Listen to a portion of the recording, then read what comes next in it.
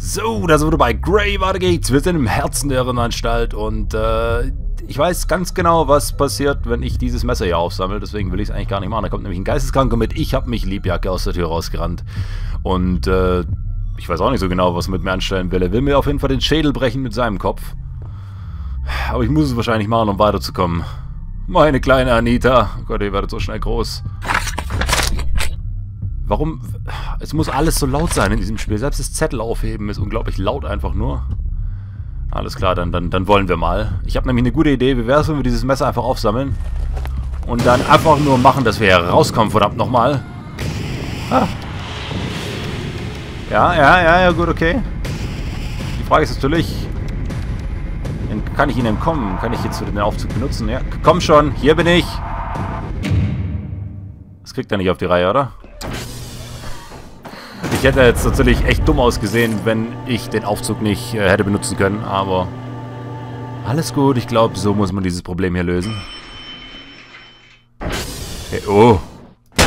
Zum Teufel, du lässt auch deine Kinder überall rumliegen, goddamn you. Müsste denn nicht in der Schule sein oder irgendwas machen? Okay. Ich möchte ja ungern mit der Schrotflinte hier eigentlich rumrennen. Was ist dein? Dieses Bett? Das ist wunderschön, dass es dir gehört. Ich möchte es auch nicht haben. Meins ist nämlich viel schöner. Und vor allem weicher, weil ich habe eine Matratze. Matratze ist schon ganz gut zu haben.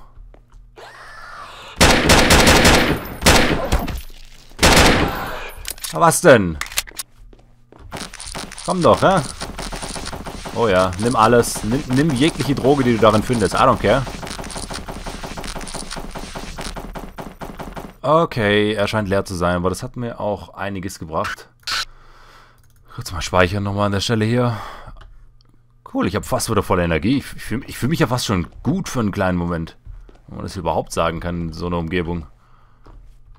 Das sieht wiederum nicht so gut aus. Naja, okay. Ähm, ich glaube einfach mal nicht, dass wir da lang müssen. Können wir hier jetzt raus? Nein, natürlich nicht. Vielleicht da lang jetzt? Weil ich meine, wir sind ja mit dem Aufzug wieder Nein, dahin gefahren, wo wir herkamen. Also müssen wir doch wieder zurück. Ich glaube, ich nehme das Messer mal. Das Messer finde ich eigentlich extrem geil, muss ich sagen. Vor allem auch gegen die menschlichen Gegner, die nicht aus kleinen Miniaturpuppenteilen bestehen. Extrem gut, weil, wie gesagt, ich habe wirklich ein kleines bisschen größere Reichweite als die. Und wenn man immer schön rückwärts läuft, dann ist es auch echt eine Sache. Dann funktioniert es auch wirklich gut. Kann ich... Kann ich? Danke. Komm schon, so fett bin ich auch nicht. Ich muss durch die Tür durchpassen irgendwie. Geht doch. Mal schau mal. Da bin ich durchgekrochen. Ich weiß gar nicht, bin ich in diesem Gang, in dem wir schon mal waren? Ich bin mir da nicht so hundertprozentig sicher. Ich glaube, hier waren doch... Hier sind noch die Stangen aufgetaucht und haben verhindert, dass ich hier weitergehen kann. Oh, oh, oh. Seht ihr, was ich meine? Ganz genau, ich habe keinen einzigen Treffer abbekommen jetzt. Und äh, wenn ich genug Platz nach hinten habe, ist es auch in Ordnung. Wenn er natürlich in einem engen Gang steht, dann äh, macht er wahrscheinlich ganz genau das mit mir. Nur vielleicht noch schneller und präziser wahrscheinlich. Als ich gerade mit meinen zittrigen alten Händen. Vor Angst zittert natürlich. Okay, ich habe gerade weder Angst noch bin ich wirklich alt. Also von dem her, whatever. Oh, holy shit. Ach du Scheiße, wo kamst du denn raus? Okay. Okay. Zum Teufel kamst du aus, aus, aus welcher Wand Vagina kamst du denn gekrochen gerade eben? Da ist doch gar... Oder ist er an der Wand geklebt? Das kann doch nicht auch sein. Wie dem auch sei. Wie dem auch, auch sei. Wir sind auf jeden Fall wieder auf dem richtigen Weg und die Tür ist auch wieder da, was schon mal schön ist. Was zum Teufel? Holy shit, was bist du denn? Okay. Ich weiß nicht warum, ich finde die um einiges, einiges angsteinflößender als die fliegenden Gegner. Ich weiß nicht wieso.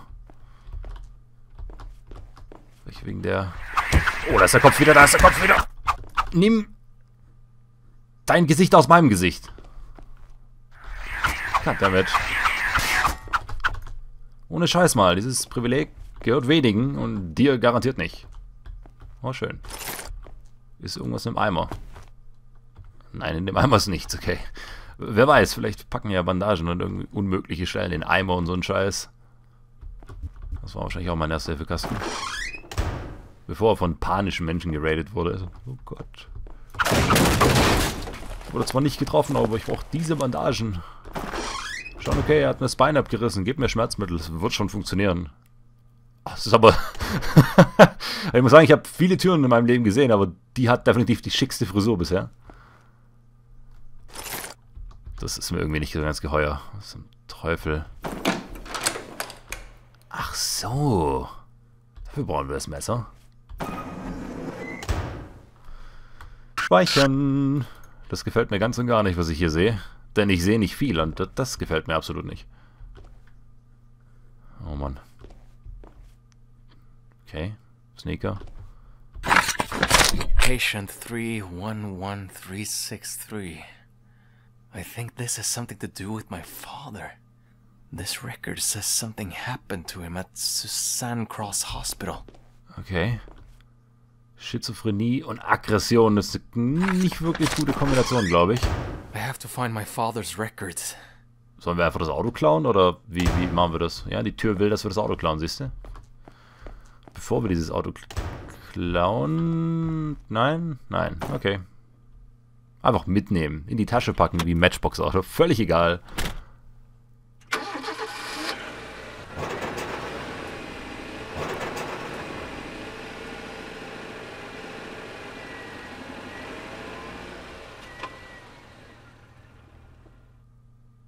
Fahren wir jetzt also zum Krankenhaus. Höchstwahrscheinlich, denke ich mal. Und ich kann nur erahnen, was da wieder für Apeshit gehen wird. Okay. Sein Vater war also irgendwie der Auslöser oder hat auf jeden Fall irgendwas mit dem zu tun, was wir hier erleben mit, mit, mit Gray zusammen. Bin mal gespannt, ob wir die Antworten hier irgendwo im Krankenhaus finden. Oder ob wir vielleicht sogar unseren Vater finden. Ich weiß nicht so wirklich, aber gucken wir einfach mal, ob da vielleicht noch irgendjemand rumläuft. Und ob wir da auch wieder komplett alleine durch die Gänge schlappen. Naja, komplett alleine wäre ja nicht mal das Problem. They must be in here somewhere.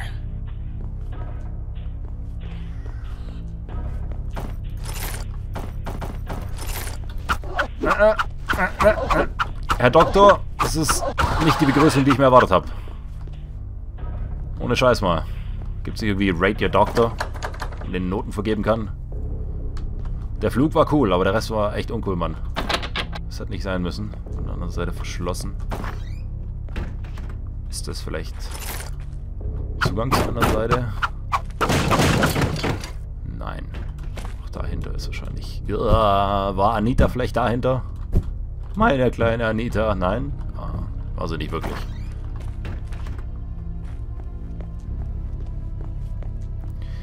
Da mal ab dafür. Schauen wir uns das Krankenhaus ein bisschen genauer an. Sieht bisher jetzt nicht so erschreckend aus. Oh Gott. Oh, das Bild da hinten kenne ich.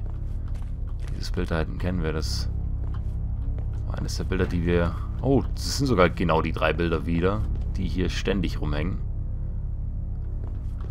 Huh. Okay, warte mal, liegt da hinten irgendwas in der Ecke? Nein. Nein. Oh, die Schuhe schon wieder. Das ist die große Frage. Liegt es an den Entwicklern? Dachten sie sich, fuck it, wir machen ein Schuhmodell, das viele Leute tragen und legen es irgendwo hin? Und es wird schon keinem auffallen. Oder... Das ist einen tieferen Sinn. Archives. Third floor. Okay, gucken, ob wir irgendwelche Hinweise auf unseren Vater finden. Drittes Stockwerk. Ich gehe ich recht in der Annahme, dass der Aufzug höchstwahrscheinlich nicht funktionieren wird. Weil es zu einfach wäre. Was, was ist das für ein Geräusch? Pinkelt da vor der Tür einer? I don't get it. Whatever. Vielleicht regnet es auch. Ich habe gerade nicht wirklich beim Fahren drauf geachtet, ob es geregnet hat. Ist mir nicht aufgefallen. Zumindest. Warum macht es eigentlich keinen Sinn, in diese ganzen verdammten Türen reinzugehen? Es muss doch irgendwas geben, oder? Es ist einfach nur auf dem Weg. Ja, warte mal, wie hast du den Sprung denn? Holy shit. Ich würde echt mal gern aus Third Person sehen, wie ihr diese Duckjumps immer macht. Und auch hier drauf, kein Problem. Na gut. Na gut. Oh Gott, nein. Bin ich der Neue? Hallo, mein Name ist Gray und ich habe schlimme, schlimme Visionen und habe ein kleines Mädchen mit einem Bohrer durchlöchert. Kommt das so gut auf so einer ersten Sitzung? Ich weiß ja nicht. Das ist, glaube ich, kein Satz, mit dem man sich vorstellen sollte. Geschlossen, kann ich nicht öffnen. Storeroom. Storeroom heißt in Silent Hill immer irgendwelche Items abgreifen. Ist es hier auch so? Warum stehen hier Lautsprecher? Ha! Wow, wow! Warte mal ganz kurz, habe ich gerade die Ammo zerstört? Ich habe auszusehen... Scheiße. Ich habe auszusehen draufgeschlagen und jetzt ist sie weg. Aus der... Ah, ich hab, jetzt habe ich sie auch gesammelt. Wie auch immer ich das gemacht habe. Ich habe sie, glaube ich, auszusehen in die Tür reingeglitscht. Bisschen zu aggressiv mit dem Messer romantiert hier. Why can't I go anywhere directly? I have to find another way. Die Frage stelle ich mir schon lange nicht mehr bei solchen Spielen, Gray. Irgendwann gewöhnt man sich. Okay, an sowas gewöhnt man sich absolut niemals. Oh Gott. Gott, mein Herz. Oh hey. Oh Gott, warte mal. Jetzt machen sie Gangrape oder wie? Ah, ah, ah. Auf der Straße habe ich das gelernt, Alter. Autsch. Gut, ein Treffer für drei Gegner fast auf einmal ist in Ordnung. Nein, nichts Interessantes hier. Oh Gott, ihr schon wieder. Das heißt, ihr schon wieder, du schon wieder. God damn it, geh mir aus den Augen, Mann. Okay. Kurz mal neu speichern, falls diese Gegner jetzt hier auch wieder präsent sind.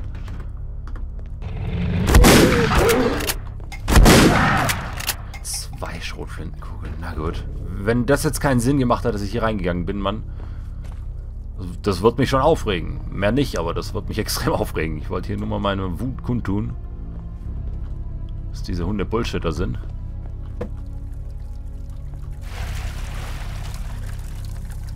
Hier mal gar nichts geht, Mann. Hier ist, hier ist gar nichts drin.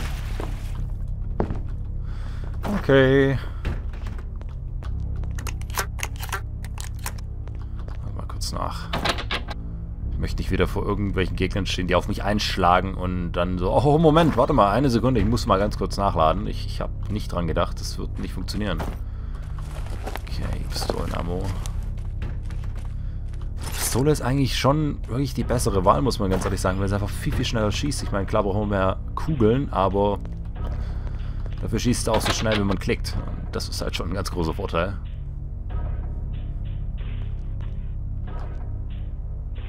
Hey, Urgent Care. Examination Room ist zu. Natürlich ist der Raum, den wir nicht betreten sollen, offen. Versteckt sich der Doktor hinter der Tür? Nein. Okay. Mach mal zu den Scheiß. Achso, es geht nicht. Mach mal zu den Scheiß. Dankeschön. Ja, ich meine, wenn schon keiner da ist, dann sollten wir auch mal die Chance nutzen und auf Krankenhausbetten mit unseren dreckigen Straßenschuhen rumspringen. Stand jetzt zwar nicht auf meiner To-Do-Liste für mein Leben, aber hey, warum nicht? Okay. Kontaminiert, kontaminiert. Das ist nicht gut. Da irgendwas drauf? Nein? Okay. Scheint nichts drin zu sein, nichts drauf zu sein, dahinter, drunter, wie auch immer. Ich habe gründlich geschaut, nichts drin. Moment mal, was creept da? Ich habe gerade irgendwas creepen hören. War ich das mit meinen Schuhen auf den Akten? Ich hoffe. Ach. Warte mal, was? Code. Haha. Code, okay. Suchen wir den Code. Ist der Code in den Bildern versteckt? Vier Schafe und zwei Häuser. Hm. komisches Bild irgendwie für ein Krankenhaus. Und das heißt schon was, denn in Krankenhäusern hängen meistens die strangesten Bilder rum. Hier vielleicht irgendeiner... Sind das die gleichen Bilder? Also ich schätze einfach mal nicht, dass ich was aus Bildern rauslesen muss, oder?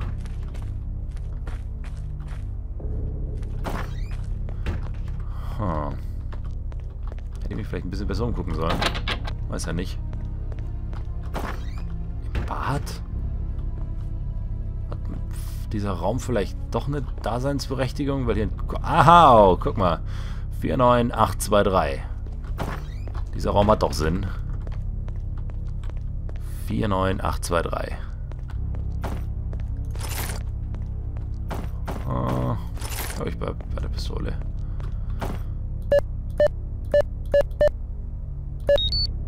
Bam! Sehr gut. Nicht mal Brute Force Attacke testen müssen. Wobei ich auch absolut nicht gewusst hätte, dass es ein äh, fünfstelliger Code ist. Ich hätte oh Gott, oh Gott, warum? Warum, warum, warum? Ich habe doch nichts getan. Oh. Schön, schön. Ich finde die voll creepy, die Teile, die so gebückt laufen. Sind auch viel schlimmer als diese fliegenden Typen. Ich weiß nicht warum. Meine, diese gebückt laufen, die sind ein bisschen langsamer und, und gut, spucken uns mit Blut an, was es auch nicht wirklich toll ist, aber 65206 65206 Macht das Sinn?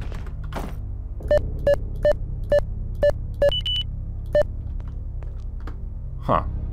Dachte vielleicht, dass man dadurch irgendeine hilfreiche extra Passage öffnen kann oder wie auch immer. Aber diese kleinen kann ich nicht zerschlagen. Gut, von mir aus. Ah, das kann ich doch... Okay. Das geht nicht kaputt. Wir machen es stilvoll. Wir lassen es einfach runter. Okay, Etage Nummer 3. Das ist nicht Etage Nummer 3. Da geht's raus schau mal, das ist dieser versperrte Bereich. Okay, und hier kommen wir vielleicht in einen der verschlossenen Räume rein, oder? Oh, ja, sehr gut. Gegnermäßig sieht's gut aus. Bandagenmäßig sieht es noch viel besser aus für mich. Haha, wunderbar. Das ist die Frage, wie komme ich hier wieder raus? Ach, schaffen wir schon irgendwie. Es, ist, es, es basiert auf Half-Life. Natürlich schaffen wir das. Außer er kann hier nicht mehr. Na, das es könnte sogar für Half-Life schwierig werden.